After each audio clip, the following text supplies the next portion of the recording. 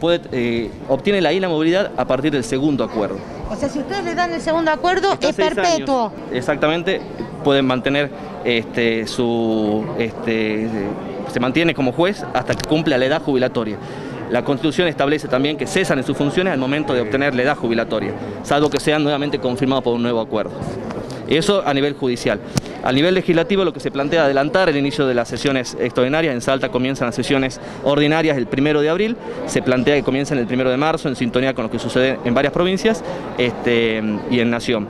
Respecto a los órganos de control se plantea y se propone que eh, por lo menos tres de los este, auditores sean de la oposición, con la posibilidad de que la presidencia de la auditoría sea de, los auditores propuestos por eh, bloques opositores. Y respecto al régimen municipal, se plantea, además de los concejales que hablamos de los cuatro años, también crear la figura del viceintendente. La elección de los jueces también sería bueno que no estén vinculadas con el gobierno, ¿no? Porque también eso es muy polémico, ¿no? Los jueces inferiores eh, son seleccionados por una terna que hace el Consejo de la Magistratura, eso es una incorporación que se hizo en el año 98. El gobernador propone de la terna que se eleva y los que eligen a los jueces son los senadores. Eh, respecto a los jueces de corte... Eso sería político, ¿no?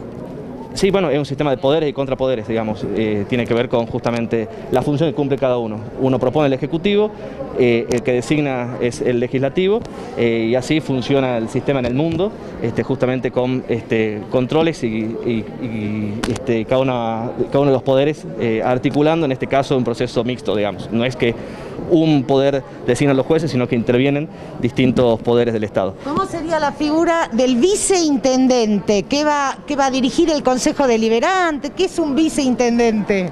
Bueno, el viceintendente este, creo que es importante para dar estabilidad a la función del Departamento Ejecutivo Municipal. Hoy tenemos casos, y se han dado en la historia también de nuestra ciudad y los distintos municipios de la, de la provincia, en donde puede existir un intendente de un color político y un presidente del Consejo Deliberante de otro color político, eso genera inestabilidad, nos parece que eh, se puede elegir por fórmula como intendente y viceintendente, como funciona por ejemplo en la provincia de Córdoba, como tenemos por ejemplo el caso de la, ciudad de Buenos Aires, que si bien no es una intendencia, pero tampoco es una provincia, este, hay eh, la figura de este, un viceintendente que permite justamente dar mayor estabilidad institucional al trabajo del Poder Ejecutivo y también mayor y mejor articulación con el Poder Legislativo. Ahora, para candidatarse como constitucional, eh, ¿tiene que participar de algún partido político? Eso también ha generado cierta polémica.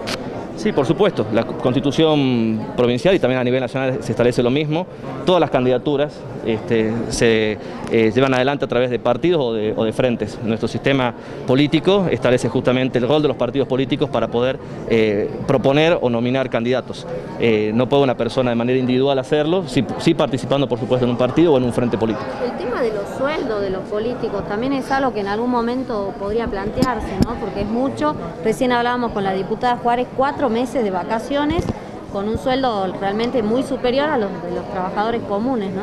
Bueno, respecto a lo que propone la reforma constitucional es adelantar el inicio de sesiones ordinarias, que no comience en abril, sino que comience en el, mes de marzo. Y respecto a los sueldos de la dirigencia política, nosotros, el Ejecutivo Provincial, el año pasado, no solamente que cuando se conformó la estructura inicial de trabajo del, gobernador Sainz se redujo un 20% la planta política, sino que durante todo el año se han congelado los sueldos, incluso hubo meses en donde se ha aportado hasta el 50% del sueldo al fondo este, COVID. Creo que además de los sueldos, que es importante, también hay que discutir cuestiones que tienen que ver con la eficiencia de los políticos este, y que los políticos puedan dar y deban dar respuesta a las demandas ciudadanas.